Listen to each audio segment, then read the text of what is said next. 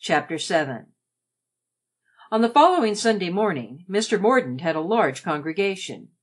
Indeed, he could scarcely remember any Sunday on which the church had been so crowded. People appeared upon the scene who seldom did him the honor of coming to hear his sermons. There were even people from Hazelton, which was the next parish. There were hearty sunburned farmers, stout, comfortable, apple cheeked wives in their best bonnets and most gorgeous shawls, and half a dozen children or so to each family. The doctor's wife was there with her four daughters. Mrs. Kimsey and Mr. Kimsey, who kept the druggist's shop and made pills and did up powders for everybody within ten miles, sat in their pew; Mrs. Dibble in hers; Miss Smith, the village dressmaker, and her friend, Miss Perkins, the milliner, sat in theirs. The doctor's young man was present, and the druggist's apprentice. In fact, almost every family on the country side was represented, in one way or another. In the course of the preceding week, many wonderful stories had been told of little Lord Fauntleroy.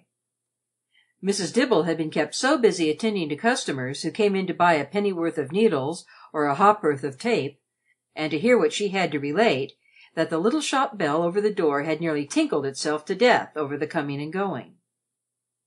Mrs. Dibble knew exactly how his small lordship's rooms had been furnished for him; what expensive toys had been bought; how there was a beautiful brown pony awaiting him, and a small groom to attend it, and a little dog cart with silver mounted harness. And she could tell, too, what all the servants had said when they had caught glimpses of the child on the night of his arrival and how every female below stairs had said it was a shame, so it was, to part the poor pretty dear from his mother; and had all declared their hearts came into their mouths when he went alone into the library to see his grandfather, for "there was no knowing how he'd be treated, and his lordship's temper was enough to fluster them with old heads on their shoulders, let alone a child." "But if you'll believe me, Mrs. Jennifer, mum," Mrs. Dibble had said, "fear that child does not know. So Mr. Thomas hisself says. And set and smile, he did, and talked to his lordship as if they'd been friends ever since his first hour. And the Earl so took aback, Mr. Thomas says, that he couldn't do nothin' but listen and stare from under his eyebrows. And it's Mr. Thomas's opinion, Mrs. Bates, mum, that, bad as he is, he was pleased in his secret soul and proud, too for a handsomer little fellow, or with better manners, though so old fashioned, Mr. Thomas says, he'd never wish to see." And then there had come the story of Higgins. The Reverend Mr. Mordaunt had told it at his own dinner table, and the servants who had heard it had told it in the kitchen, and from there it had spread like wildfire. And on market day, when Higgins had appeared in town, he had been questioned on every side. And Newick had been questioned too, and in response had shown to two or three people the note signed Fauntleroy. And so the farmers' wives had found plenty to talk of over their tea and their shopping, and they had done the subject full justice, and made the most of it. And on Sunday they had either walked to church or had been driven in their gigs by their husbands, who were perhaps a trifle curious themselves about the new little lord who was to be in time the owner of the soil. It was by no means the Earl's habit to attend church, but he chose to appear on this first Sunday.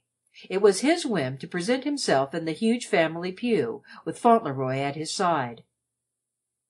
There were many loiterers in the churchyard, and many lingerers in the lane that morning.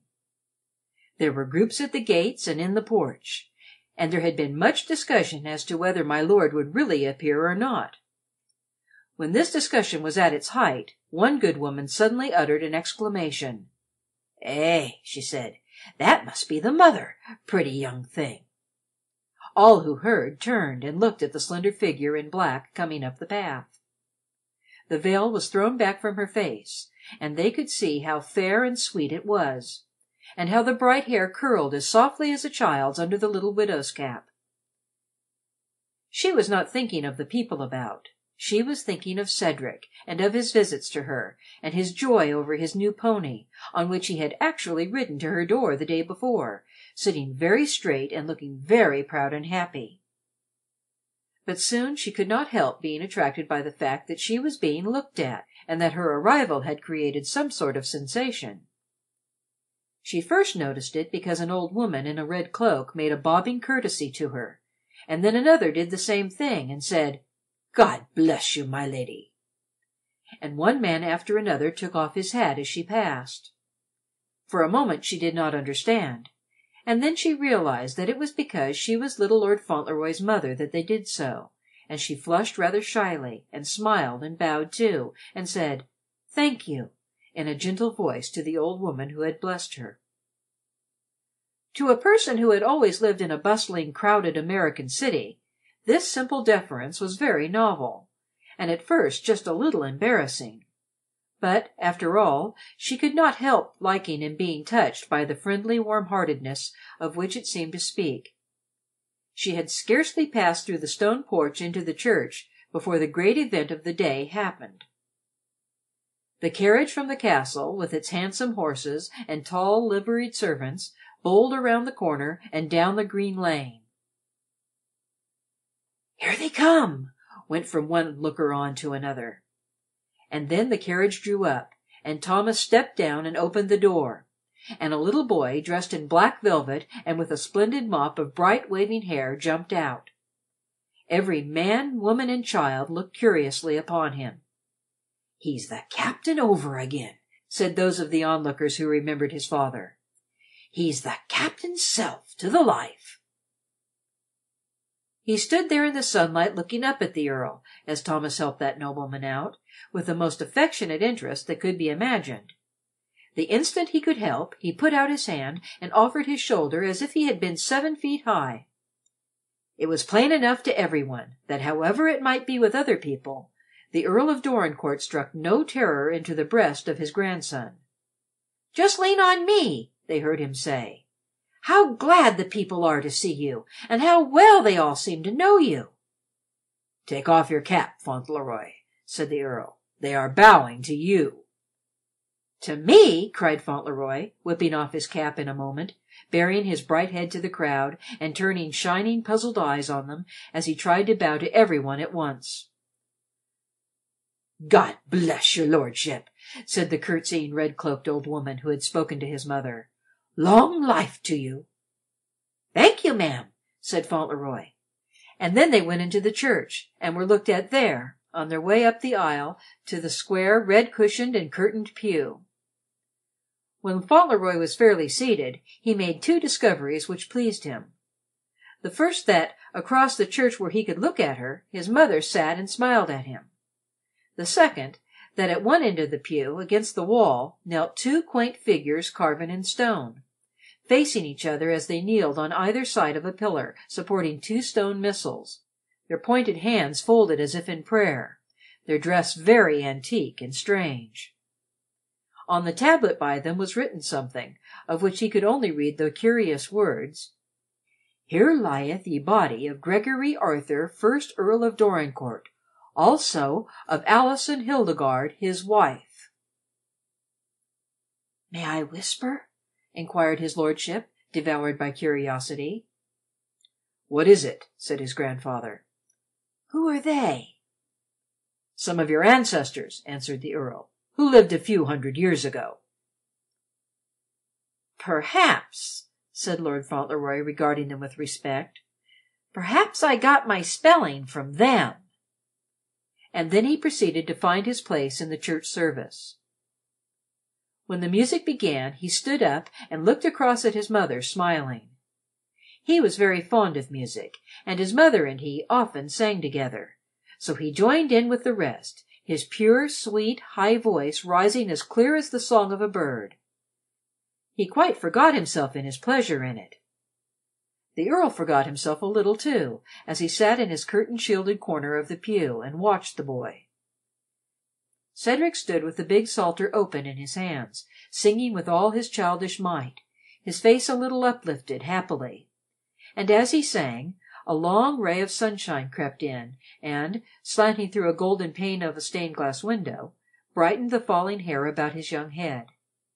His mother, as she looked at him across the church, felt a thrill pass through her heart, and a prayer rose in it too a prayer that the pure, simple happiness of his childish soul might last, and that the strange, great fortune which had fallen to him might bring no wrong or evil with it. There were many soft, anxious thoughts in her tender heart in those new days.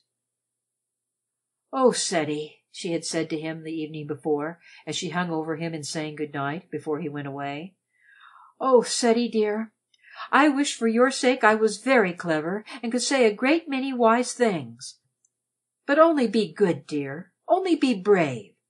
Only be kind and true always, and then you will never hurt any one so long as you live, and you may help many, and the big world may be better because my little child was born.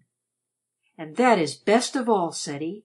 It is better than everything else that the world should be a little better because a man has lived even ever so little better, dearest."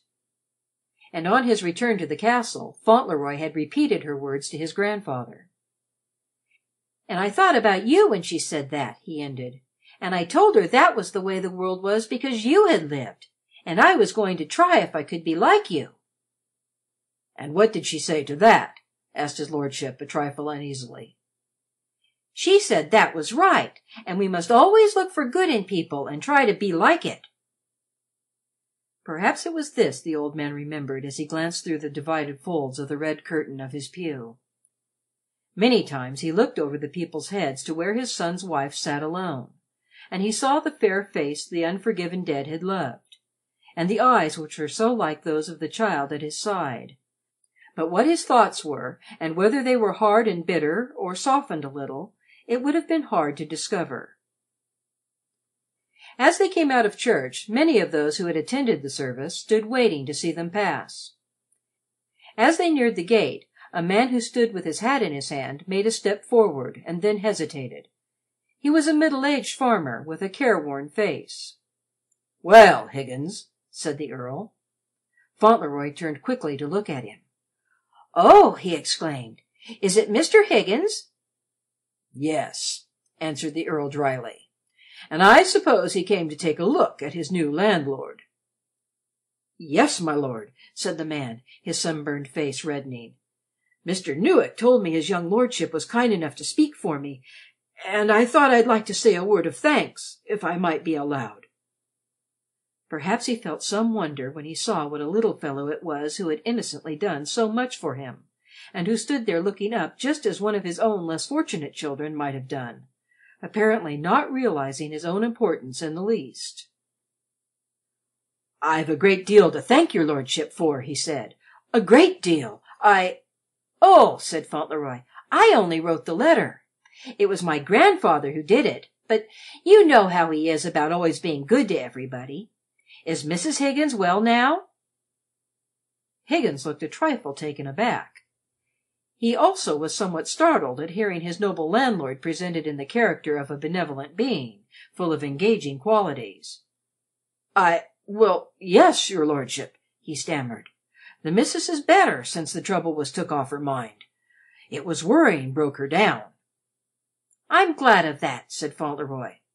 "My grandfather was very sorry about your children having the scarlet fever, and so was I. He has had children himself. I'm his son's little boy, you know." Higgins was on the verge of being panic stricken. He felt it would be the safer and more discreet plan not to look at the Earl, as it had been well known that his fatherly affection for his sons had been such that he had seen them about twice a year, and that when they had been ill, he had promptly departed for London, because he would not be bored with doctors and nurses. It was a little trying, therefore, to his lordship's nerves to be told while he looked on, his eyes gleaming from under his shaggy eyebrows, that he felt an interest in scarlet fever. "You see, Higgins," broke in the Earl with a fine, grim smile, "you people have been mistaken in me. Lord Fauntleroy understands me. When you want reliable information on the subject of my character, apply to him. Get into the carriage, Fauntleroy." and Fauntleroy jumped in, and the carriage rolled away down the green lane, and even when it turned the corner into the high road, the Earl was still grimly smiling. End of chapter seven